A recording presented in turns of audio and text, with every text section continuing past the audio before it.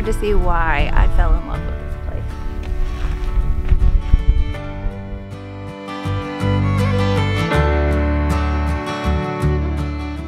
That could be a bear, could be a mountain lion, could be a pack of coyotes, although I haven't heard any coyotes in a very long time.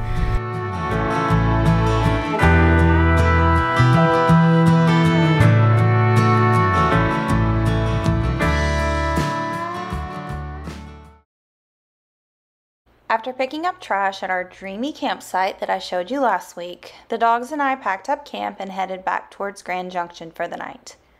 I was planning to sleep at Love's, which is kind of becoming my Friday night routine, but I had a lot of errands I needed to run, so we went ahead and got those taken care of, so that way the dogs and I could just tuck away for the night and make the most of the weekend to come.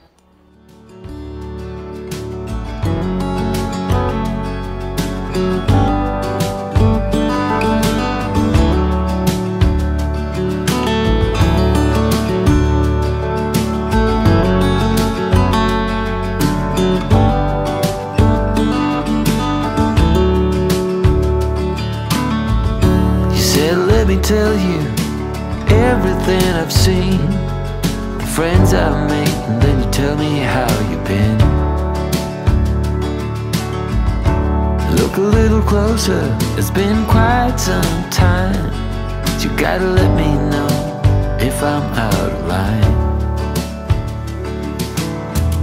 But there's some words that I just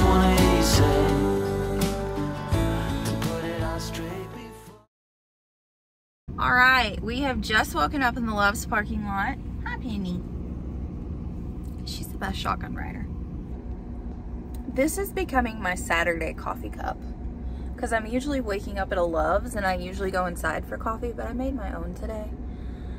I am gonna go fill up my tank, get some extra diesel to keep in the back of the van, and we have one more errand to run before we explore the rest of Colorado. And I am excited about this one. I've talked about this errand that I'm about to run. I've talked about this in a previous video. And this is long overdue. It's gonna be a long day. Okay, the big reveal. I have been hiking in my first pair of hiking boots for five years, maybe more they're mm, at this point like i could keep going but my biggest issue is that they just smell so bad. That's so gross but they stink. So i got new boots and i'm so excited. Say hello to the new kicks. Oboz. They're waterproof. I love them and i can't wait to wear them. Beautiful as opposed to the old faithful Columbias that are borderline falling apart.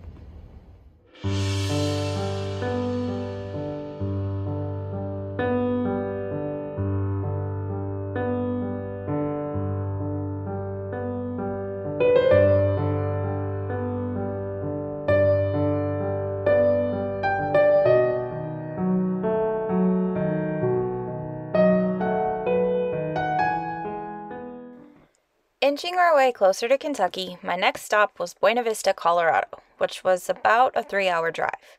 It wasn't long after leaving Grand Junction that we were approaching the mountains. I wish there was a way to truly share how some of these views look. I don't have a very fancy camera, so just trust me when I tell you that videos really don't do it justice. I'm such a sucker for snow capped mountains, and this drive had me smiling from ear to ear. The higher we climbed in elevation, the more the road started to look familiar, and soon I realized I was in the general direction of a place that's very special to me.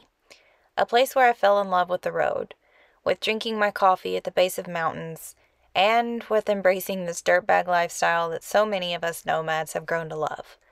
A place that, had I not visited two years ago, there's a good chance I may not be living in my van right now. So it felt right to make a pit stop.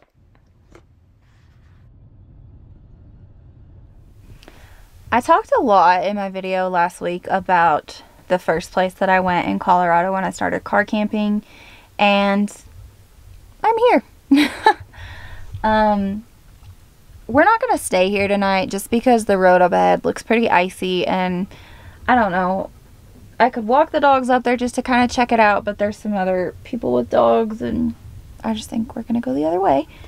Um, I guess this is the perfect opportunity to test out the new boots. So we're to get suited up. It's very cold here, very cold, and get the dogs some exercise.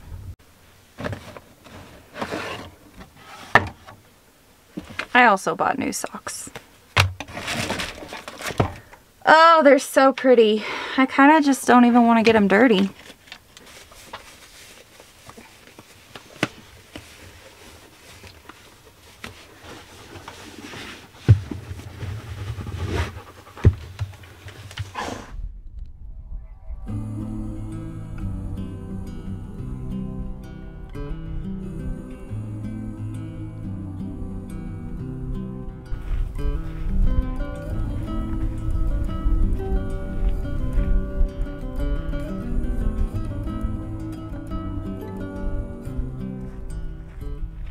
It's not hard to see why I fell in love with this place. Two years ago, I was scrolling through Instagram and saw a post of someone living van life. It seemed impossible at the time, so I settled for car camping. My brother helped me build a platform to fit in my RAV4, and the dogs and I way overpacked for what would be our first cross country trip. I'm honestly smiling thinking about the first time I visited Twin Lakes. I had no idea these spots existed, let alone that you could stay there for free. So we spent a few days here staring at the mountains, going for hikes, splashing in the lakes, and watching the sunsets. Sometimes I miss the simplicity of sleeping in my car, but mostly I'm just so thankful that I did it, because I know that I wouldn't be where I am right now if I hadn't taken that trip.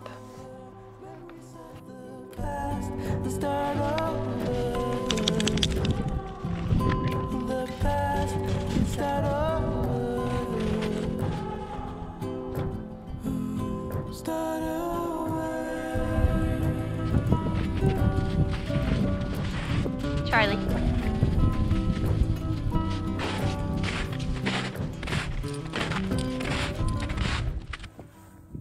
We're not going to go very far.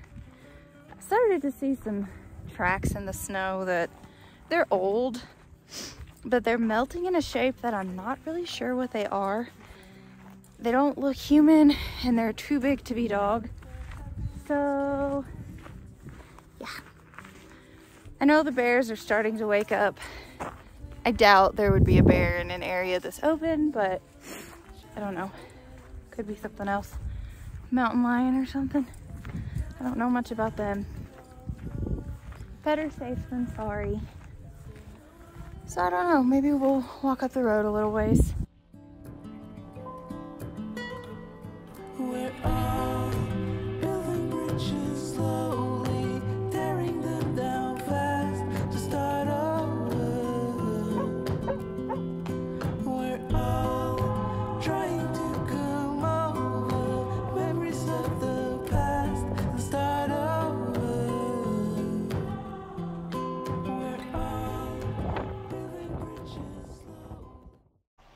After visiting Twin Lakes, we got back on the road and finished what was left of our drive to Buena Vista, which I recently learned is actually pronounced Buena Vista, and that feels weird to say.